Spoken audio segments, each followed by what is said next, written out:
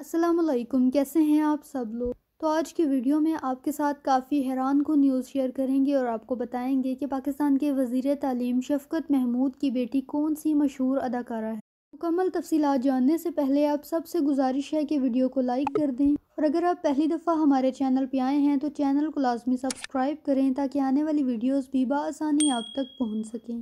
पाकिस्तान तहरीक इंसाफ के रहनुमा शफकत महमूद इस वक्त पाकिस्तान के वज़ीर तालीम हैं और ये ब्यूरोक्रेट टर्न पॉलिटिशियन हैं।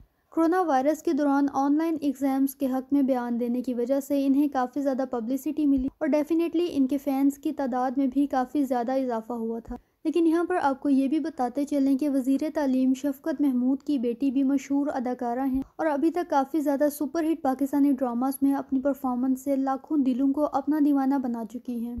यहाँ पर आपको बताते चलें कि फ़ेमस पाकिस्तानी अदाकारा तारा महमूद, शफकत महमूद की बेटी हैं।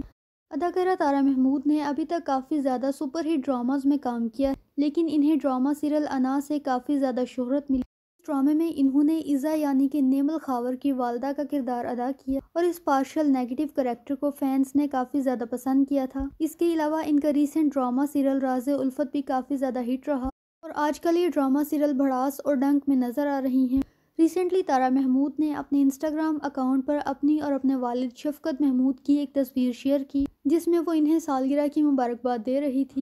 और तब इनके फैंस को इस बात का अंदाज़ा हुआ कि तारा महमूद वज़ीर तालीम शफकत महमूद की सगी बेटी हैं, क्योंकि इससे पहले शफकत महमूद या तारा महमूद दोनों में से किसी ने भी इस बात को रिवील नहीं किया था। तो आपको तारा महमूद ज़्यादा पसंद है या फिर शफकत महमूद कमेंट्स में अपनी कीमती राय का इजहार लाजमी कीजिएगा। इसके साथ साथ वीडियो को लाइक और चैनल को लाजमी सब्सक्राइब कर दें ताकि आने वाली वीडियोज़ भी बसानी आप तक पहुँच सकें।